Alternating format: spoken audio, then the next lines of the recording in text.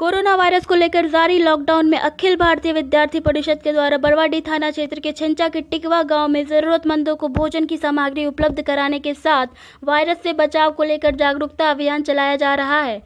परिषद के नगर मंत्री अमित तिवारी के विशेष निर्देश पर एक और जहाँ परिषद के वरिष्ठ कार्यकर्ता फिरोज अहमद के द्वारा प्रतिदिन लगभग 100 से अधिक लोगों को भोजन भी कराया जा रहा है, वहीं जरूरतमंदों की सेवा के लिए 24 घंटे तत्पर है।